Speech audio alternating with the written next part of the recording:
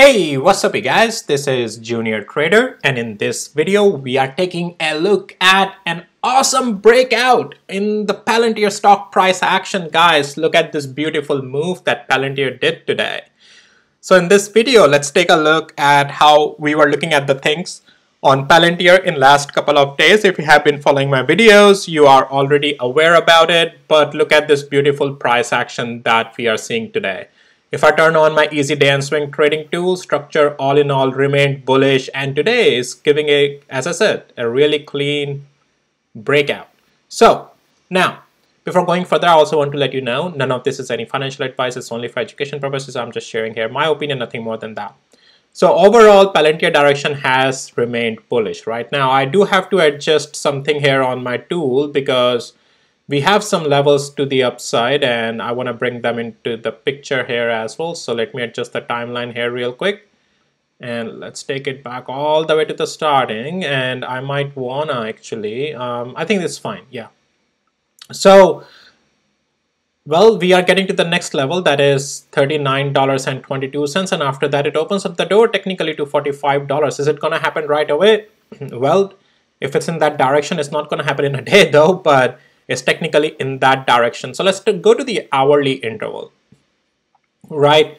And I talked about yesterday as well that since we were, let's actually adjust something real quick here on the tool and let's do the intraday depth level medium. And yeah, here we go. So as we talked about yesterday as well, that Palantir, it stayed above. Yes, it dipped below 36 and 38 cent significant level, but when it came back up, that was it. Got above 200 hours moving average. And I mentioned yesterday that the weight has closed, it's more looking like it's just want to continue up and break out to the upside. And overall, stayed above 200 hours moving average, stayed above that also on the daily interval. The 20 days moving average over there, right? And so things still just remained bullish on this thing, right? And even in the direction, right? It, it's it didn't even break any 20 days moving average. And then we also had a pivot, next significant level, 37, 35 cents, stayed above it.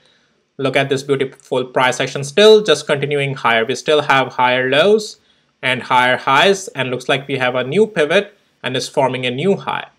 So, but this is the next level that it's testing, the next significant level, $39.21, getting close to that. So this is from the back in the times the price action, right? Now, yes, it's still bullish, guys. And until where can it stay bullish? Right now, I'm not seeing any signs of downside on this thing. I mean, you know, this is a really clean, good breakout. Any pullback now until this ball, until this level, 37, 31 cents area to 38, it's just going to be a pullback even if Palantir falls down here right? It's just going to be a pullback. This is a new good support zone and things are looking beautiful. So yeah, pullbacks are just a buy. I mean, I, I highly suggest take partial profits in the extensions, right? This is the plan has been with Palantir, right? Like let me turn on my day and swing trading tool again. And I always say that when structure turns bullish, especially this works really great on Palantir. You build your position, Stop loss can be below the structure according to your stop losses, right? Below the 20 days moving average or significant level or below the structure especially, right?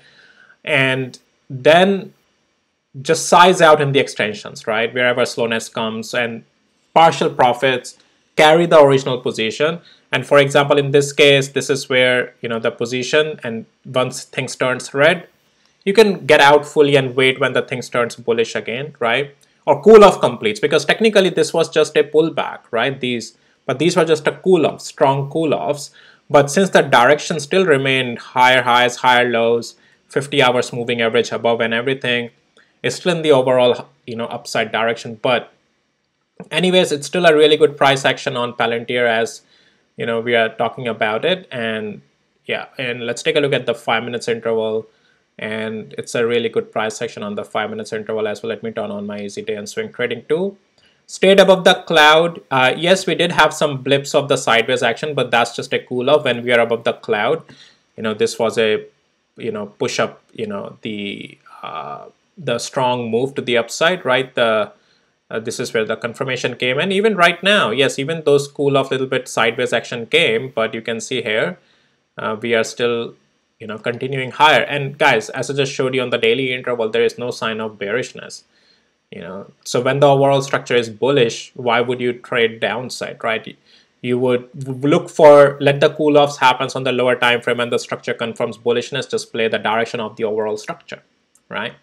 Anyways great start on the palantir to begin with to even start off the day on this and things on this are still looking super strong as I said, levels to watch are to the upside, right? Um, yeah, and I gave you the pullback zones as well. If those pullbacks happens, right now I'm not seeing any signs of that. I'm on the weekly interval right now, and don't get confused with so many levels, right? The, don't too much worry about it. What you can do is on the lower on the low volatility stock, you can do significant level depth, maybe medium, or even low based on your taste. But I want to see just don't do in a way that yeah as in the importance that it just takes away everything. It depends on how volatile the stock is. So I'm just going to keep it medium for now on Palantir.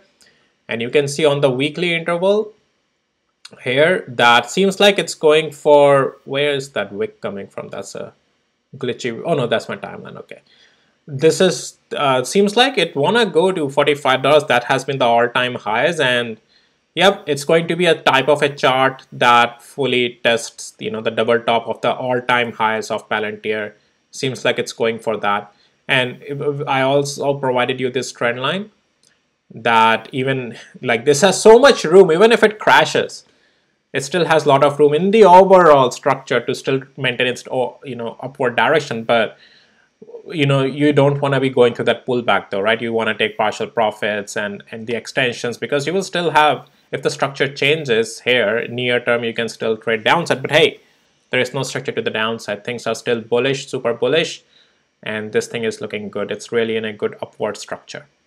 Well, that's pretty much it for Palantir, guys. I wanted to talk about in this video. And if you found it helpful, valuable, please hit the like, subscribe. And with that, I'll see you in my next videos. All right, take care. Bye.